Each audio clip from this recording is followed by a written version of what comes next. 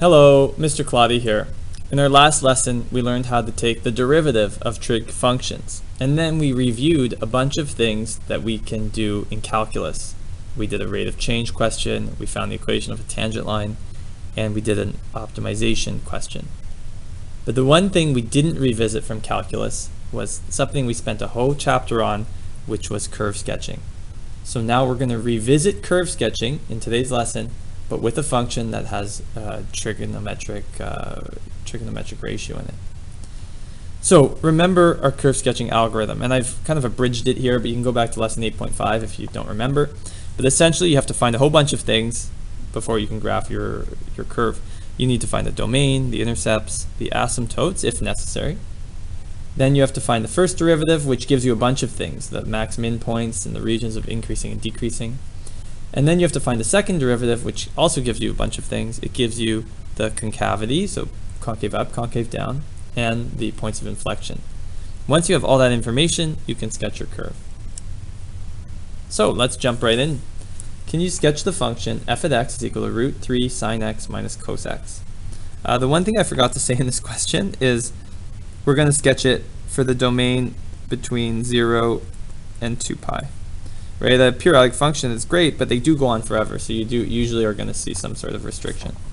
Uh, so that domain, well, the domain is right there. We given it. We're usually going to be given it in the question.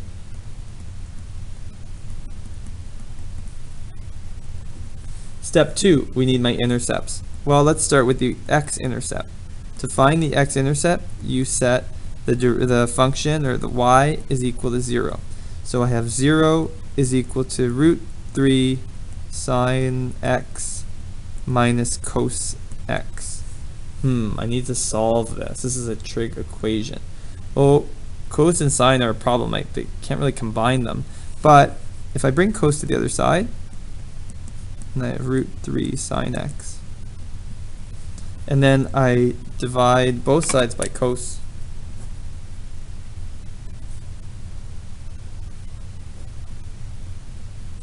I end up with 1 is equal to root 3 tan x. So I get tan x is equal to 1 over root 3. Now, you should be thinking, we've done this a few times now, what uh, angle gives me this trig ratio? What is my related angle? Well, if you don't remember, 1 over root 3, that sounds like that special triangle like this. This is pi by 3. This is pi by 6. This is my 1, 2, root 3. So if I have, uh, what tan gives me 1 over root 3? Well, that would be opposite. So it would be pi by 6. So my related angle is pi by 6. So now you can draw your unit circle. Again, this is all off to the side things. When is tan positive? Well, by cast rule, tan is positive uh, when it's in this quadrant and when it's in this quadrant. So the two angles that make that true are pi by 6. And then, sorry, this one should be red. If this angle is pi by 6, then this entire angle here is pi by is pi Ah, it's 7 pi by 6. Pi plus pi by 6. It's very messy and small, but essentially I find out that x is equal to pi by 6 and 7 pi by 6. Those are my two intercepts. And it required, it wasn't any more difficult than um, finding x-intercepts normally, except that you have to solve a trig equation instead of a algebraic, another type of algebraic equation. To find the y-intercepts, I have to set x is equal to 0. So now I have f at 0 is equal to root 3 sine 0 cos 0. Okay, so it was uh, root 3 sine 0 minus cos 0. I forgot the minus there. Uh, sine 0 is just 0. I always think of the sine curve. It starts at 0. And uh, cos 0 is 1. The sine curve, or the cos curve starts at 1. So the uh, intercept here is negative 1, the y-intercept. So I've got a bunch of information about my intercepts. It got kind of interesting. let's continue. Uh, number three is asymptotes. There are no asymptotes. This is some great news. I mean, it's the one bright light because it's not a rational function.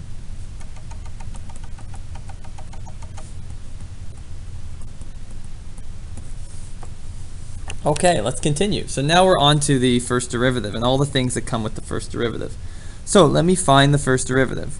The, that is, uh, okay, root 3 is a constant. The derivative of sine is cos. And the derivative of cos is sine. Again, some uh, kind of a, a nice perk. It's not so difficult. I'm going to set that derivative equal to 0 to find my uh, critical points. So I write that to find critical points. So I have 0 is equal to root 3 cos x plus sine x. Well, this is really similar to what I had to do up above with the x-intercepts. I'm going to bring uh, sine to the other side or cos to the other side, whatever you like.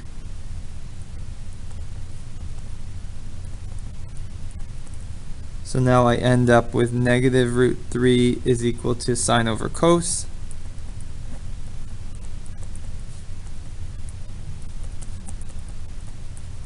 is equal to tan. What is the related angle here?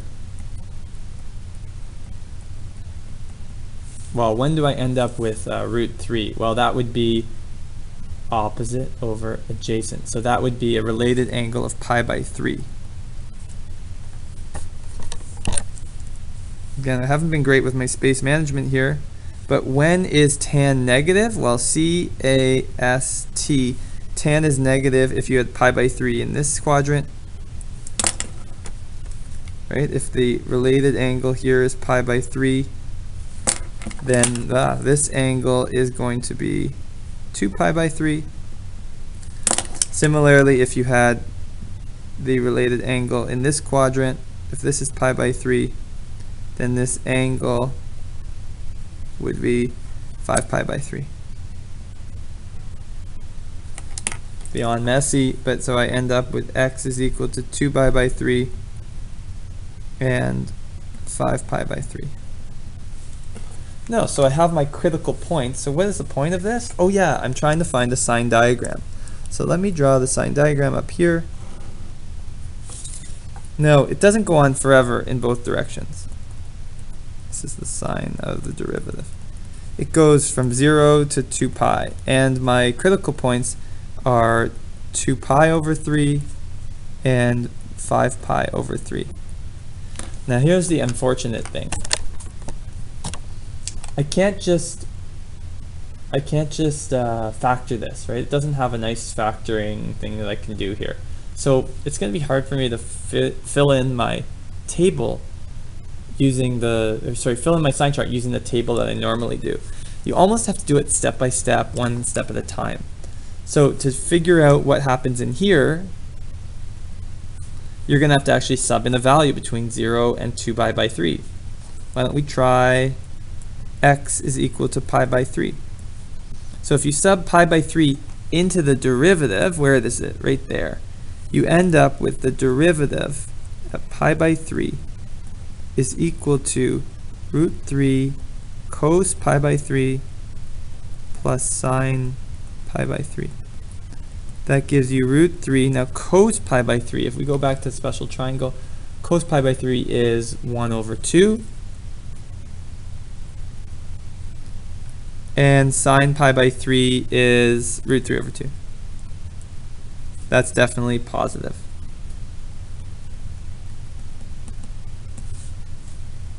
So you have to do the same sort of strategy here.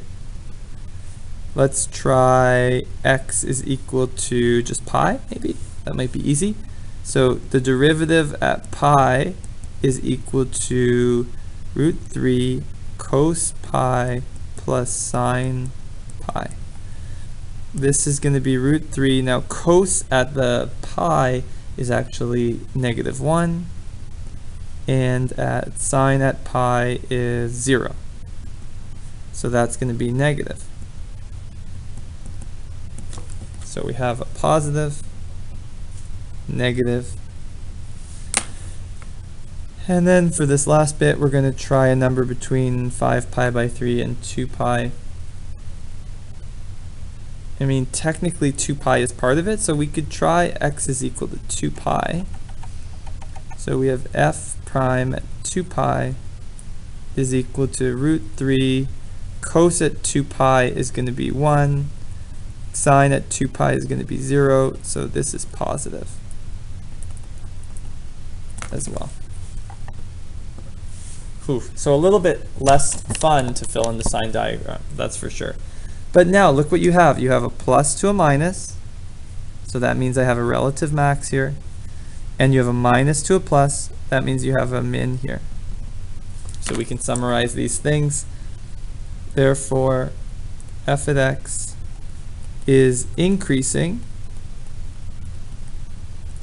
between 0 and 2 pi by 3 and between 5 pi by 3 and 2 pi. It's decreasing between 2 pi by 3 and 5 pi by 3 and there is a max at x equals 2 pi by 3 min at x equals 5 pi by 3. Remind me if we do this again, I'm going to have to take more space because I really feel like I've crammed in my answer. But now I have some uh, useful information about from the first derivative. Now we're not done. I still have to find the second derivative and all the things that go with that. So I'm onto the back page here and I'm going to do step 5. Uh, I'll just write out the first derivative again. It was uh, root 3 cos x plus sine x.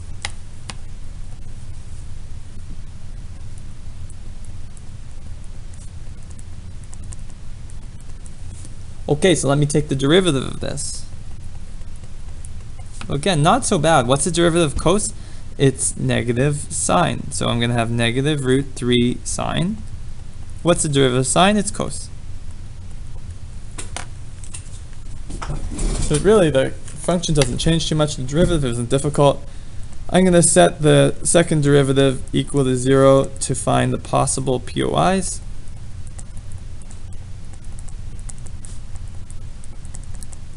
So I have 0 is equal to negative root 3 sine x plus cos x. Should be used to this strategy by now. It's kind of very repetitive. So I end up with sine over cos is equal to 1 over root 3 or tan is equal to 1 over root 3. The related angle here, actually I think I've already solved this. Tan of 1 over root 3, the answer is pi by 6 and 7 pi by 6.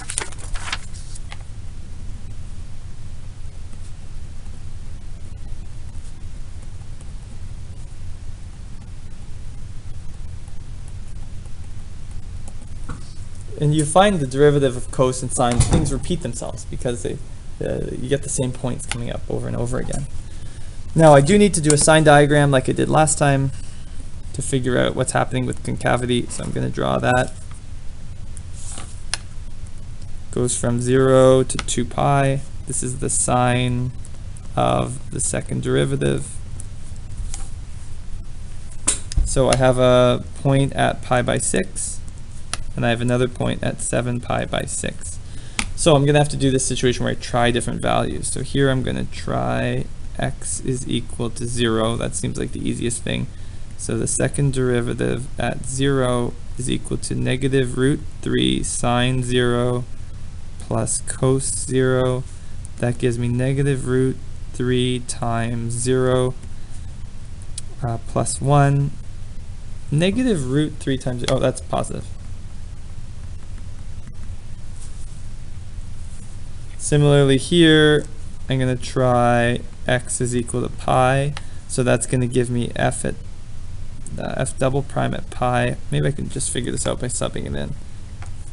So I have negative root 3 sine pi is 0 and cos pi is negative 1. So it's plus negative 1. So I end up with a negative. And here I'm going to try x is equal to 2 pi. I have f double prime at 2 pi is equal to negative root 3 sine 2 pi, which is 0, uh, plus cos 2 pi, which is 1, so that just gives me a positive. There it is. So I can fill in my sign chart now. I have positive, negative, positive. So not only do I know my concavity, I also know that there's a POI here and a POI here. So therefore, the original function is concave up between negative, between, sorry, between 0 and pi by 6 and between 7 pi by 6 and 2 pi. It's concave down between pi by 6 and 7 pi by 6. And uh, there are POIs at x is equal to pi by 6 and x is equal to 7 pi by 6. Okay. Whew. Now we've got all the information we need. Now it's time to sketch. But there's actually uh, some point. I want to make sure I have summarized all my points. So my x-intercepts, what were they? They were pi by 6, 7, pi by 6. There they were. So it was pi by 6 and 0 uh, and 7 pi by 6, 0. That's one. Okay, we also need the y-intercept. I think I figured that one out. That was 0, negative 1. Okay, there was a max point that occurs when x is equal to 2 pi by 3. Oh shoot, I need to know what the y value is. So to find the y value, I'm going to do that off to the side over here. f at 2 pi by 3. I need to sub that into my original function. My original function, if you remember, was root 3 times sine x minus cos x. So sine 2 pi by 3 minus cos 2 pi by 3. Uh -oh.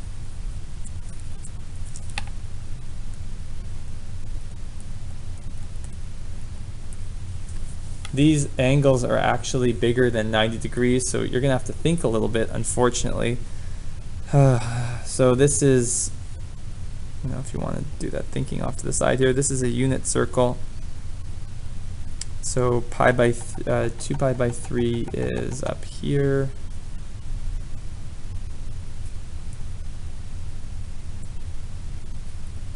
It's good we spent so much time on the unit circle.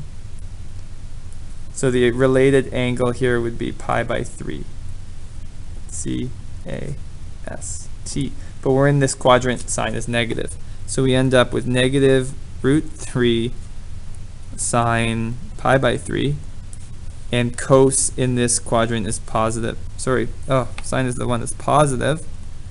Uh, cos is negative in this quadrant, so it's going to be plus cos pi by 3. So I changed each uh, trig ratio to be the related angle, and then I was able to use cast rule to find the corresponding sign.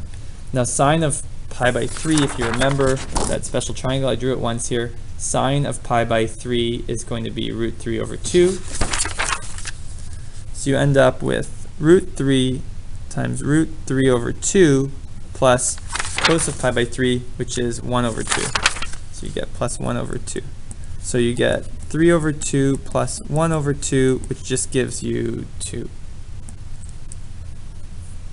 So that was the max point.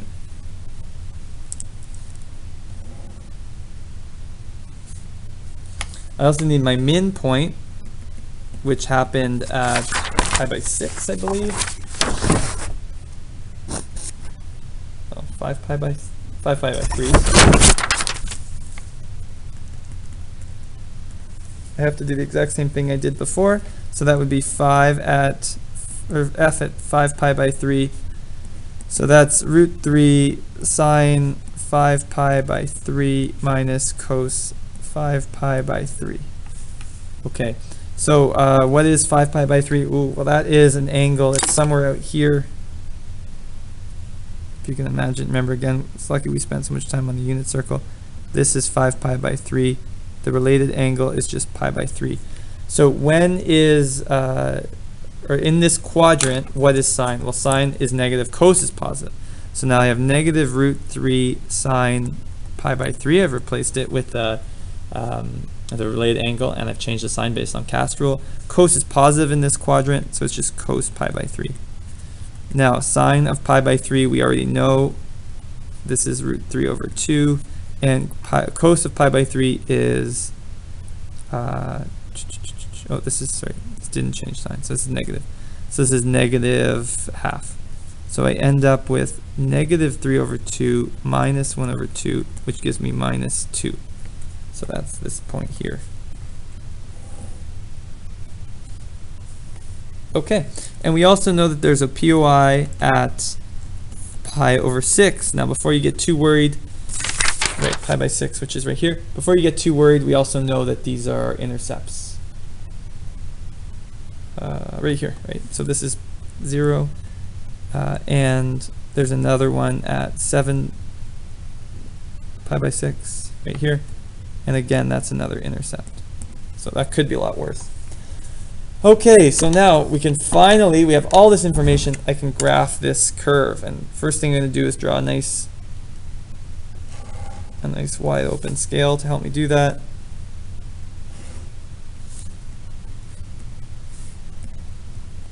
Make sure you're only graphing the domain that you need to graph. So I've drawn a lot here, just so I can uh, take as much space as possible. I'm only going up to 2 pi. Now it looks like all of my angles are um, fractions of, you know, pi by, uh, fractions of the sixth, right? So I'm going to split this in half, and that's going to be pi, and I'm going to split that into six pieces. So